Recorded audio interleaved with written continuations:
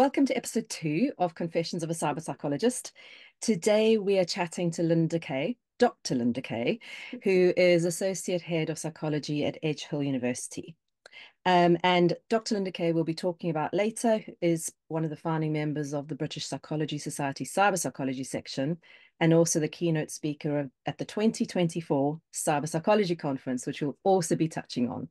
Welcome, Dr. Linda Kaye, to Confessions of a Cyber Psychologist. We're delighted oh. to have you on board. Thank you. Thank you for inviting me. I'm really looking forward to having a having a bit of a chat. Excellent. It's always a delight chatting to you. Linda, we've I just want to get a bit of background from you in terms of where you've come from and what that pivot point for you was in terms of this uh, your passion for cyber psychology. Yeah, I mean, I, I just, I, like a lot of people, I, I did an undergraduate psychology degree, which was just a normal sort of standard BSc um, route.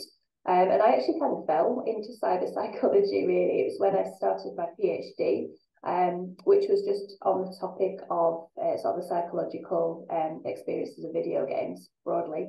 Um, and it was finding trying to find conferences to go to that I then saw this term cyber psychology and thought, oh, that sounds exciting, and realised there was actually a community that my research fit into because um, I think a lot of people who do cyber psychology research tend to find that the university they might be studying it at, they, they might be the one one of the only people in their department who might be studying it and feel a little bit isolated.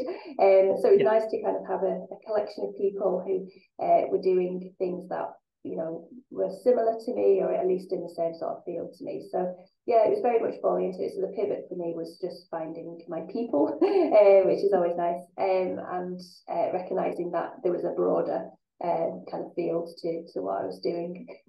yeah, absolutely. It's like finding your tribe, people who you can connect with on that deep level of passion.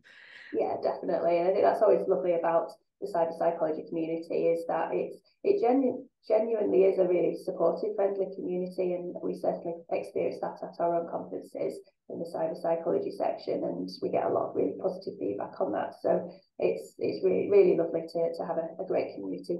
Yeah, and especially because they um throughout the UK to come together at something like a conference is is an amazing thing.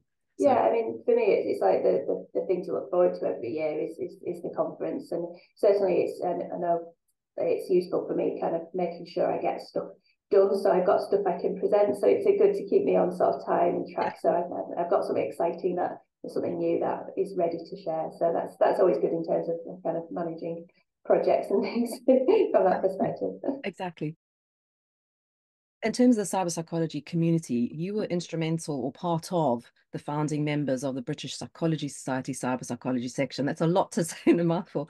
But yeah, we need an acronym, a better acronym, I think, maybe. yeah. Um, so tell me about that. How did it start? Kind of getting to the point where you've actually um, launched this whole section, and that was in 2018. I think it was recognised and officially became a section. Yes, that's right. Yeah, so yeah, 2018 was it our official kind of birth, so to speak, um, as a section um, in the BPS. Um, yeah, I mean, it's uh, myself and it was Dr. Alison Attrill Smith, um, Dr. Chris Fullwood, and Dr. Simon Bignell, who were the sort of four founding members, really, who sort of took this forward alongside a few other people who were part of a wider sort of steering group. Um, it, it came about as part of a roundtable discussion at one of the kind of previous conference series that a lot of us used to go to. Uh, University of Wolverhampton used to do a lot of conferences and host a lot in their network there. So it was part of a, a roundtable discussion, and there was this general uh, appreciation that um, it would be a useful thing to do. There were enough of us, enough interest, and why not have it recognised more officially as a sort of sub-discipline of psychology. So it was that really that stimulated um, the movement of that. Um, and then it involved a whole load of um, putting together proposals to the BPS and um, going to their research board and defending the proposal. And it, it got a lot of sort of support from the BPS. We didn't come under much opposition, which was great because we put a lot of effort and time into the proposal. Yeah. And then it just involved the, the official processes of the BPS, like member um, approvals and voting and all that kind of stuff.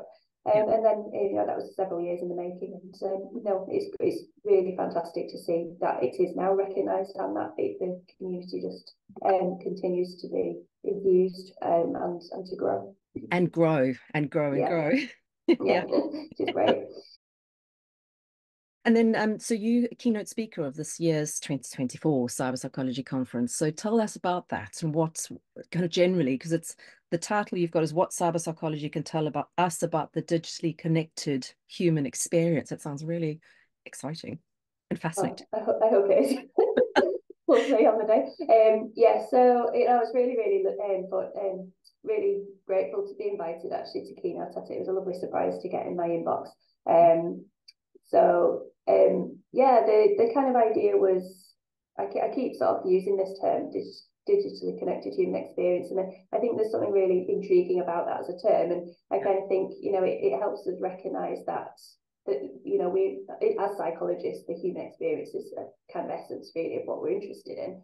Yeah. um and actually what does that look like? How is it different? What are the the kind of nuances of it when we are in a digitally connected world? So it's it's trying to sort of do a bit more of a um, a kind of bird's eye view, I guess, um, of cyber psychology as as a whole. I do, I am intending to draw on very specific kind of insights from my own research because I think that's always just nice to be able to do. And you know, I want to be able to talk about something I actually know about, which sounds good. um, um, but yeah, I thought it's, it's a keynote. It's a nice opportunity to kind of do that kind of um, sweep, I guess, and, and where are we up to, and, and where where do we want to go, and what are the kind of interesting uh, things we could get even more curious about, and what do we need to discover more. So it's sort of a bit of a kind of a checkpoint really for me as well. I, I always find doing things like keynotes a great way of helping me consolidate my own thinking of, of what my thoughts are and, and that so it's it's useful for that as well absolutely and when is the conference so the conference is taking place um, on the 1st and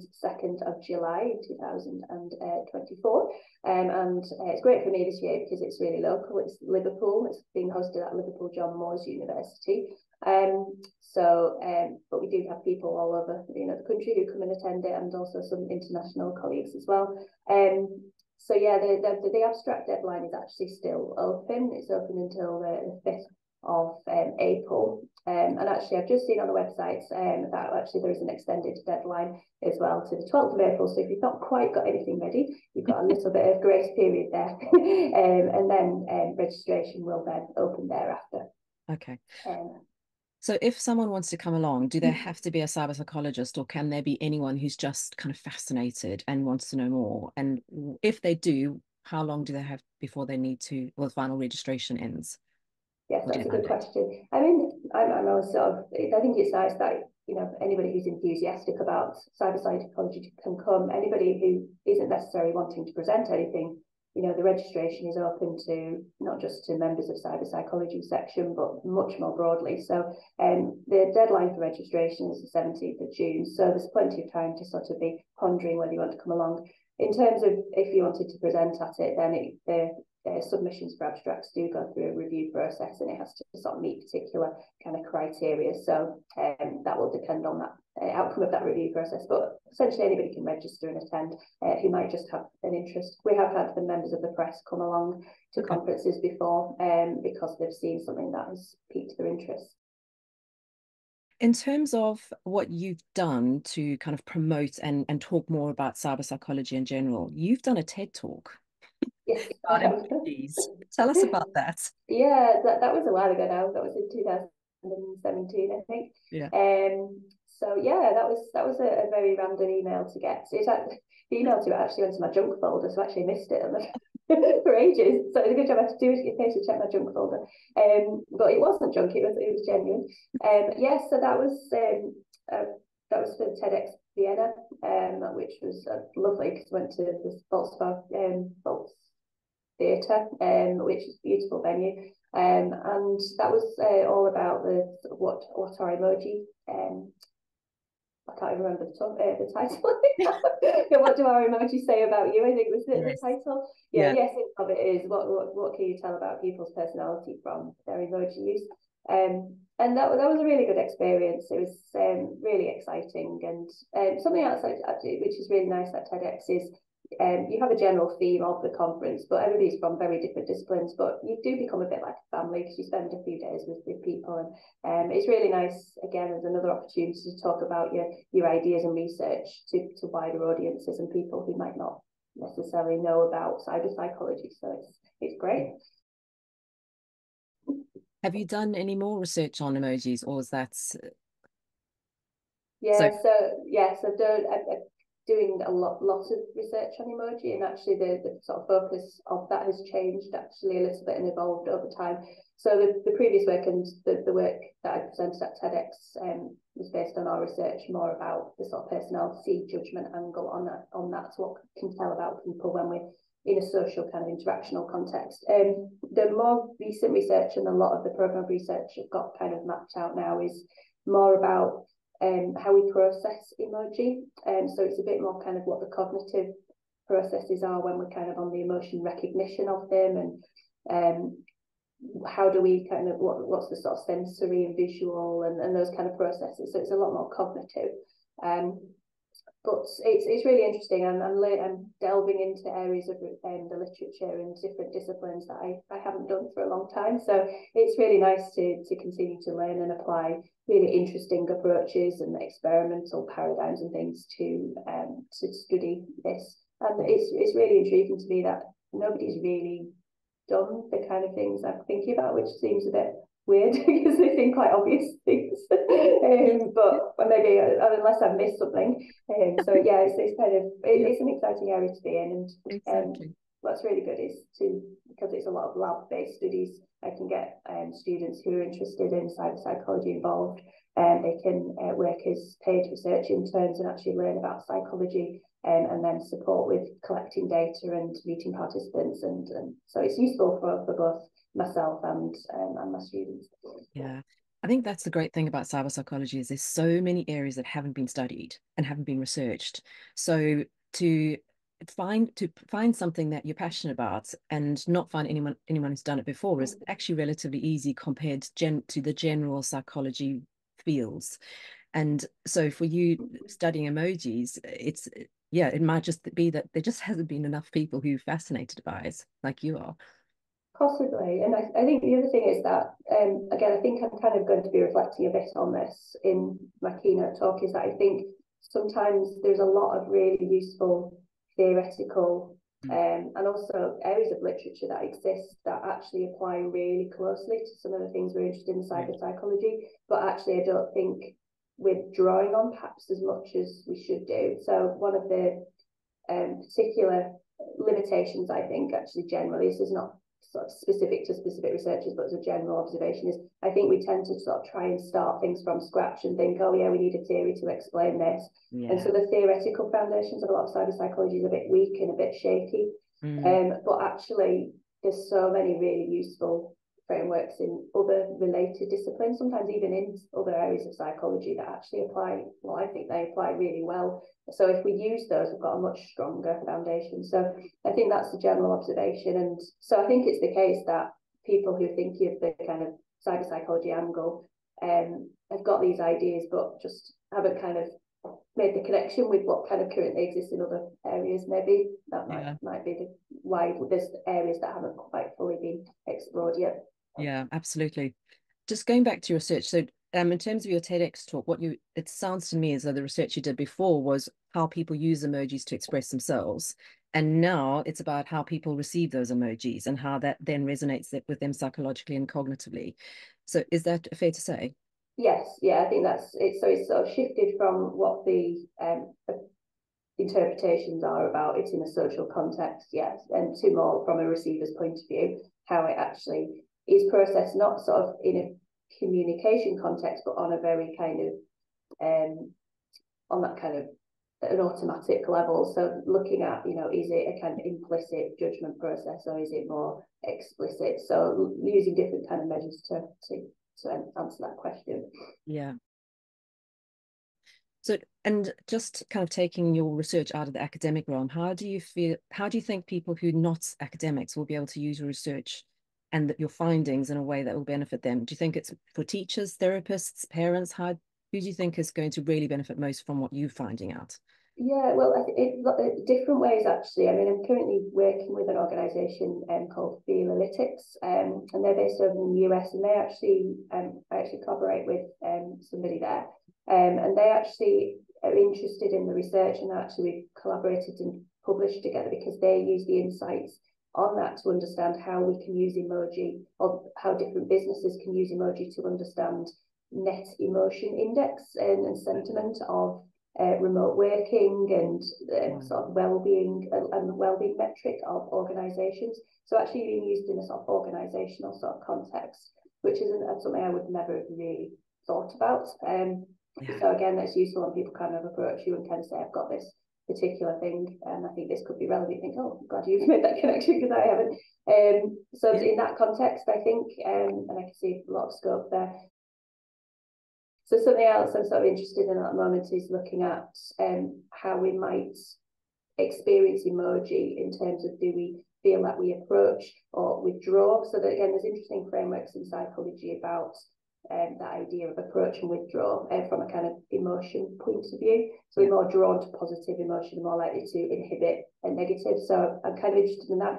So I think digital, from a digital marketing perspective, what's interesting is how that might relate to brand um, perception and um, likelihood engagement. of engagement. Yeah, that kind of thing. That, that's what I'm kind of thinking. So, um, yeah, I think they could, they could, it can be kind of applied to those sorts of contexts as well. Yeah.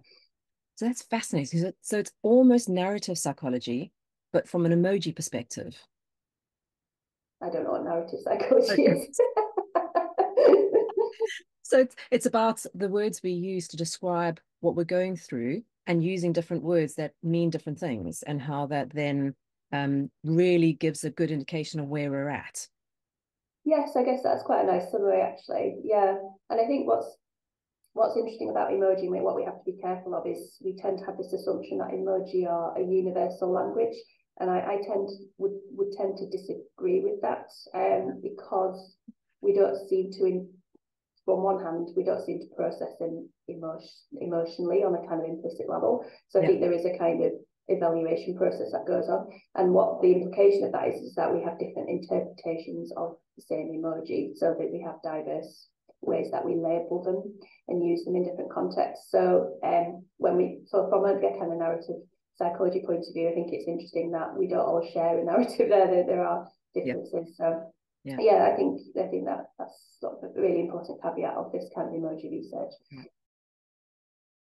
So, from a generational perspective, do you think that there's a difference because older generations won't, I, I suspect, use emojis as much as younger generations, and there's meaning attached to specific emojis that some people will understand and others won't. Is there this generational difference, or is it more about a culture, a, a group context of what they talk about and how they speak?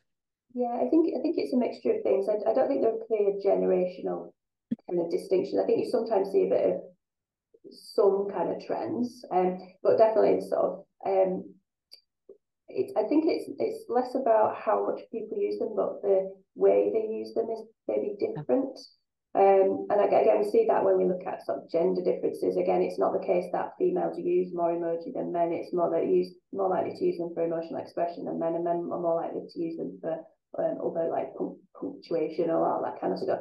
Um, so I think it's that there are distinctions, not necessarily always very clear cut, but um, we do see trends about them being used in maybe different ways. And um, I think we also have to remember now the software is developed where we can have emoji as reactions to messages. And again, that's a sort of different way that we might use them. Younger generations might be more likely to make more use of those um, as a substitute to written comments and things like that. So I think there's there's kind of nuances on on that. never a clear answer, is there? I didn't give a yes or no to your question. It was it depends. yeah, that's that's generally the answer in psychology. It depends. It depends. It always depends. there's caveats. Um, because that's interesting though that there's now those reactions to a message because it kind of it tells someone that you've read it and you and you acknowledge it, but actually you don't have to go to the effort of replying and thinking through what the answer ought to be without offending or saying the wrong thing.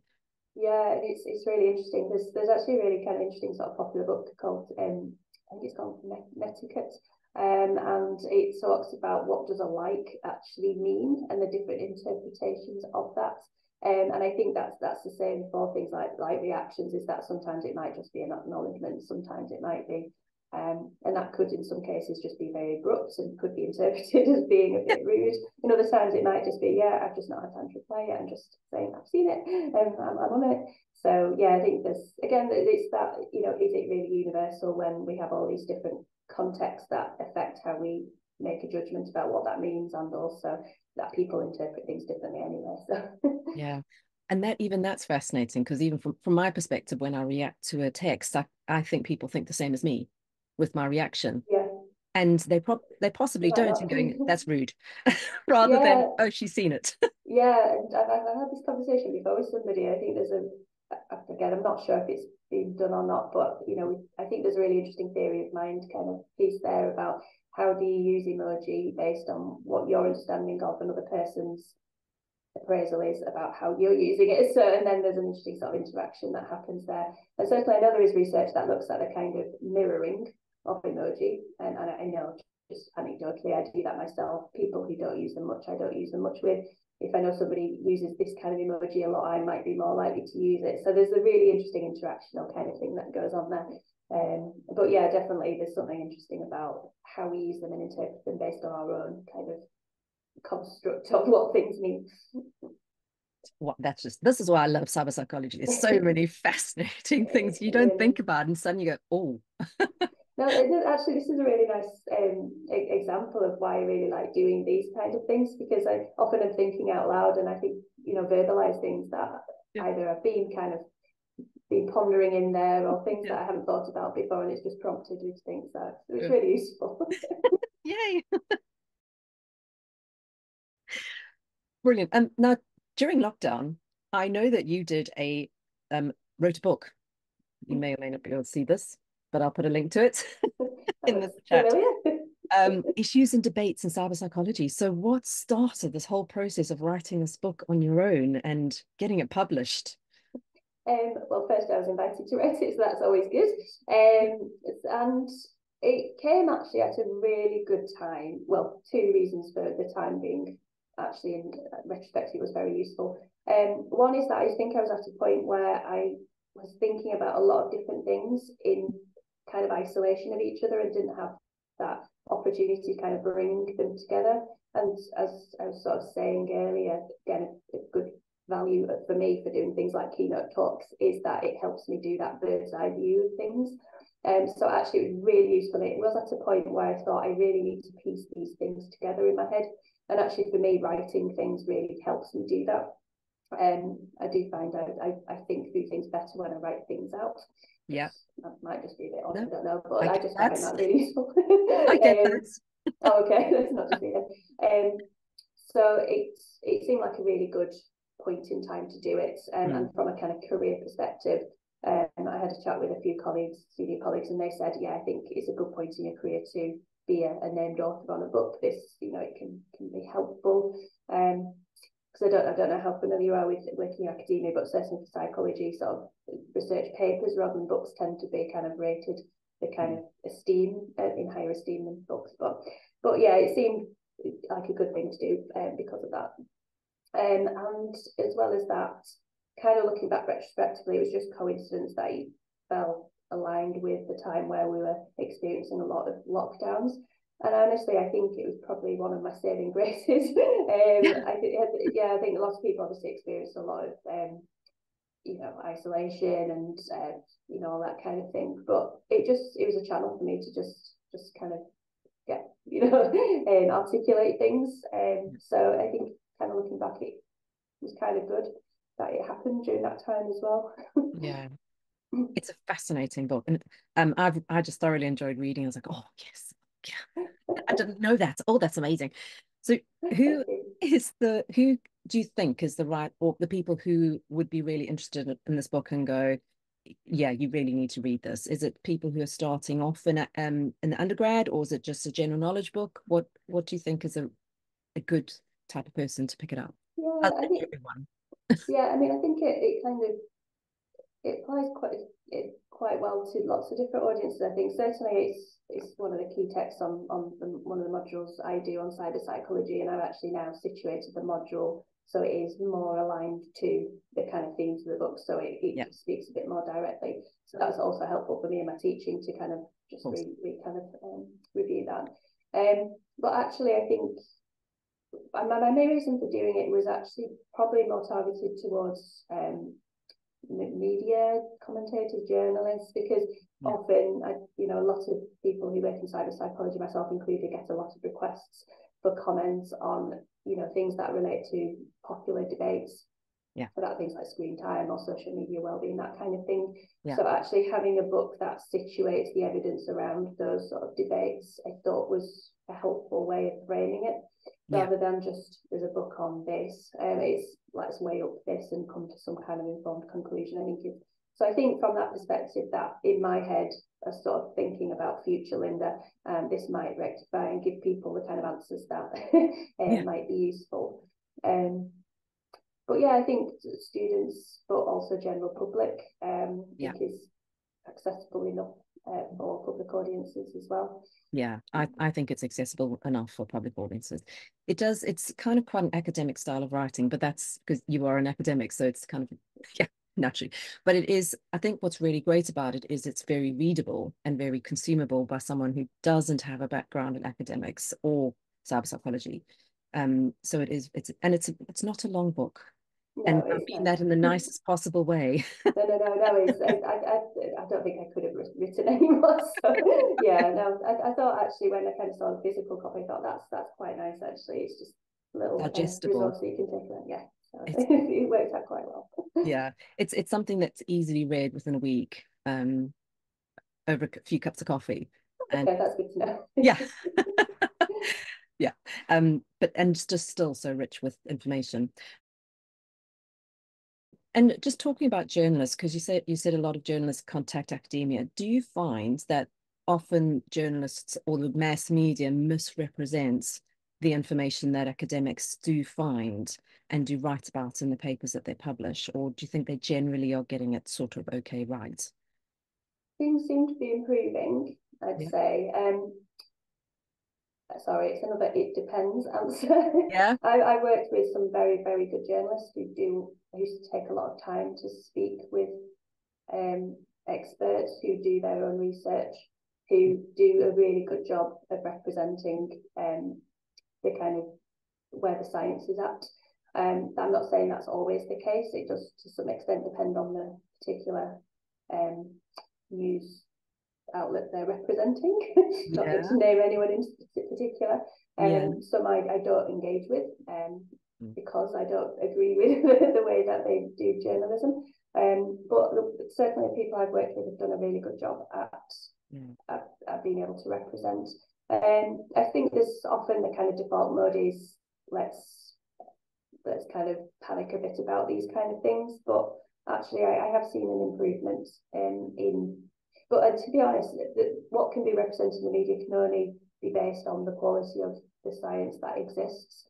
Um, and I think part of the ongoing challenge we have in cyber psychology, um, and I know there are a lot of other scholars who experience this as well, is that we we're constantly battling against ourselves, um, where we have very different sort of um, philosophical views about technology, and when there's so much contrasting opinion perspective in the discipline itself um, that really doesn't help journalists try and understand where you've got yeah. these sort of very different views where do you find the kind of synergy of that and the kind of the, the, the agreed consensus points because there, there aren't very many. So I, I, I, actually don't blame journalists to be honest because it's a bit of a um, a bit of a, a mismatch of, of evidence. Yeah. Um, yeah so I think I think there's a learning point there about um, what the discipline itself can do to support itself to then be represented better.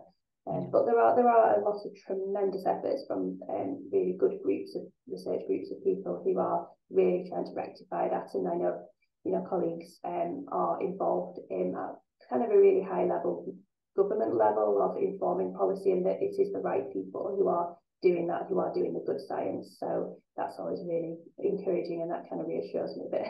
yeah that is encouraging for me too because I uh, I often talk to cyber psychologists who's so frustrated at what's coming out of in in the mass media the the clickbaits and the that, that it's all about getting, or it seems to be all about getting eyeball attention, um, rather than decent science. So it's so refreshing, so good to hear that that work's being done by great academics, and there are a lot of, or there are quite a lot of good academic, really great academics in cyber psychology. They are, and, and they, they also do a lot of um, your work on the kind of public facing stuff. So um, one comes to mind is the Oxford um, Internet Institute, and and mm. they they I actually saw the other day they were actually advertising for somebody to do the kind of public sort of media kind of facing stuff.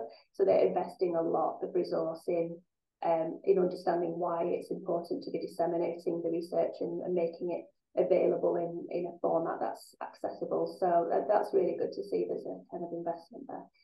That's amazing. Really, really good news. So you're researching emojis. Yeah. what else are you researching? Is there anything else that you find really fascinating that you're diving into? Uh, a few other bits and bobs. I think my, my problem has always been I'm a bit of a magpie. I just think, oh, that's exciting, I'll do that, and end up being way, way too broad. Um, emoji stuff is always kind of very central and where the kind of very sort of rigorous academic stuff comes in. But I'm also um, interested in understanding social media behaviours a bit more. I've collaborated with colleagues at Aston University on this. Um, and we, we talk about social media use, um, and that isn't I don't really know what that means. that can mean a lot of things. Um, so yeah, we and then we sort of uh, people thought, well, you know, we can then talk about active use and passive use, and that still doesn't quite help me understand what that is. So yeah, looking more intricately at what the nature of different specific behaviours are that underpin use um, is really interesting to me, um, and I'd love to do more research to look at how that's specific types of behaviours change over time and context. So doing some momentary sort of assessment that looks at the, the mood drivers or the context drivers about why we might do certain types of behaviour at different points in the day or whatever. Um, I think there's something interesting there. Um, so yeah, I'm trying to kind of scrutinise that a bit more and uh, understand that because essentially as a psychologist, I'm interested in behaviour and I want to actually understand what those behaviours are um, and, and what might be psychologically interesting there. So yeah, yeah so I'm doing stuff on that as well. Um, other things, my kind of more industry sort of kind of work, um, collaborating um, in a very early stage of getting proposals together on thinking about drivers of technology acceptance um, in, in industry, so how we can support technology diffusion and um, implementation. Um, so again, drawing on what we know from um, sort of technology integration models and that and technology acceptance literature there. I think there's some interesting work there to do as well, but that's in very, very early stages at the moment. Um, and you've also spoken about students who get involved with your research. So tell me more, more about that. If someone wants to um, know more about cyber psychology or get an undergrad with some experience in that, what what kind of things do you get students involved with that have given that experience? Yes, so at Hill in the Department of Psychology where I work, we we have a really great um, paid research internship scheme. So that's where our second year students and those who are on our um, master's conversion course can apply to be basically a research assistant in the department to um, work with colleagues on live projects. Um, so over many years, um, and we'll continue to be doing this, this, you know, as long as the funding is available to do it, which looking like it might be next year, which is great, um, is to um, just advertise projects on um, the psychology emoji, and then you know I've always been able to um, engage um, students on those projects, and they do a lot of really useful work to support my research, but also they learn about cyber psychology and psychology, how to do psychology research, um, you know, by practically doing it, uh, which is obviously useful from a learning perspective. Yeah. Um, so they can get involved in and actually the research itself in that way. Um, and as a result, they then, if we publish those papers, they then become co-authors because it's a, a valid contribution to the, the research, which is great for them as well. Um, um, and as well as that, certainly at Edge Hill, we have a, a, final year optional module, which is one I run in cyber psychology. Um, and, you know, that's it's a really cool module. I'm obviously very biased, but I always get loads of positive feedback from it. Students seem to really enjoy the module and just helps them have really discussions and answer questions that they're interested in and um, and think about the applied nature of it and how it can translate into to all sorts of different contexts. So yeah, so, so those are the ways certainly at Edge Hill that um, people can get involved in, in cyber psychology. So if a parent is watching this or one of the children and they're really fascinated with psychology and want to get involved in cyber psychology at some point, I think this is an area that they may be really interested in the future. How do they register for an undergrad and what kind of processes would they need to go through? Because it's um, the academic year is still about six months away. So how what are the processes? Is it too late to apply or do they need to still do other stuff? Yeah, so um, usually undergraduate recruitment, certainly at edge Edgehill, it might be different other universities go through the UCAS system, so it is too late for this coming academic year. So right. normally the UCAS deadline is usually end of January, right. sometime in January. Um, so it will be too late for this coming academic year, but for um, September 2025 entry, I mean, we're already thinking about 25 entry with our prospectuses and things, so it's not it's not too far in advance for me to be thinking about that. Um, then yeah, it, it would be a case of the application window would be opening um, sort of I guess from you know September to to January um this coming year. Um, so that would that would be the time to be um looking at options and, and applying.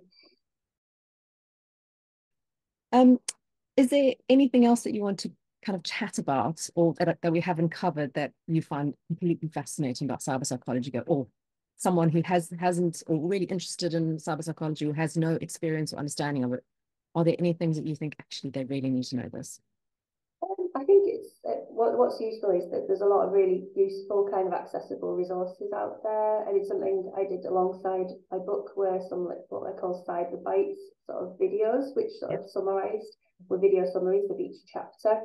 Um, I actually found that really useful actually on my cyber psychology module as well to kind of give a kind of little bit of a, a trailer of, um, of, of, of particular issues. Um, so it, it kind of works quite nicely as a companion resource to the book, but also those can be um, watched and, and and accessed just in isolation as well. So um, and there's other kind of examples of resources about topics in cyber psychology. You've got things like pieces for the conversation that colleagues have written on topics related to that. Those are really good. They're designed specifically for public audiences. Hmm. Um, that kind of digest some of the, the issues and give a, an, an accessible summary of the kind of scientific evidence and I think things like that, you know, there's there's lots of examples of those that exist. Um, and there are some, as far as I'm aware, still some resources on BPS Cyber Psychology section website as well. So, um, yeah. and on there, actually, what's really good is the BPS have actually been doing um, a series of careers in cyber psychology, which I know you'll know about because you've done one for us, which is amazing. Um, and those are really, really useful um, to give insights into how cyber psychology is applied in different types of careers. And again, I think you're a really good example of that. It's the kind of thing I wouldn't, again, naturally think about where cyber psychology fits, but obviously does really well. Um, so those are really good as well. The careers in cyber psychology series that um, our colleague on the committee, John Blythe, has done a fantastic job at, um, at consolidating. Yes. And one final question What is your favorite cyber psychology book? There are, there are a lot of really good resources out there. Um, I think one of my, my favourite ones um, is possibly the Introduction to Psychology uh, resource um, that was published um, or edited by colleagues at IADT over in Laoghaire. Uh, they've just released the second edition and it's on my yes. bookshelf, which I can uh, now Yes, get it.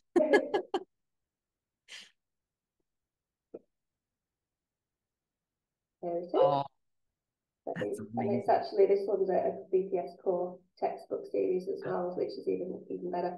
Um, but this one's great. This is really comprehensive. Um, I find it useful. Um, again to recommend to students. It's very sort of accessible in terms of it breaks down a lot of this sort of very typical content areas inside the psychology. So would I would always say that one's that was a really good one. Um, and I, I do have a lot of sort of uh, fondness with that as well because um, I was invited to write a foreword for that one and I, I originally launched the book on its first edition back over in Ireland so that was always really nice and you know the colleagues over there are really lovely and friendly and um, yeah so that was a, that was a good one yeah And in terms of that book, how is it different to the first edition? Is it are, are there new topics or is it just updated research? It's a bit of a mixture. So it's in broadly they're just sort of updates. Um, there are a couple of newer new topics in there. I can't remember now off the top of my head what they are, but there definitely were some new sections in it. Um, but yes, it's it, there is a progression from from the first one in terms of it, it has been updated because obviously that you know the nature of cyber psychology is you know the research moves quite fast, so these things do need to be updated uh, quite regularly. So um, yeah. Excellent. Because I've bought the first one, so I'm like, oh, do I need to? Yes, I do need to buy the second one. Possibly. I'll, I'll double check which the topics areas are. I think I need to anyway, because it's just always fascinating to get updated research. Because as you say, it moves on so quickly and yeah. there's always new technology coming up. And so therefore new behaviors that we display and us, the way that we engage with technology changes over time as well. Yeah. And our cultural shift changes. So it's you really do need to keep up to date with cyber psychology information. Yeah. It's not just you know it, therefore done. Slightly different things like child development, for example, because there's, yes, there's new research, but it's not as fast paced, which yeah. is one of the exciting things about cyber psychology. This is interesting, yeah. No, this is exciting. Sometimes I just think, you know, I just I need about five of me to be able to study all the things I'm interested in and keep up to the pace. Um, which again is part of the problem I think of being quite broad in the kind of things I'm interested in, because then you just it's very difficult to keep track of all of all the different advancements in this like the, even though they're still all within the same field that is quite a, a task to do. So again needs that I, yeah that's a lesson to me to be a bit more focused. Yeah. Brilliant. Linda it's been a delight and a joy chatting to you as it always is. Oh, and um, and all the best with your prepara- preparation for the cyber psychology conference. And um yeah, I look forward to seeing you again soon. Yeah, thank you. And thank you for joining us at episode two of Confessions of a Cyber Psychologist.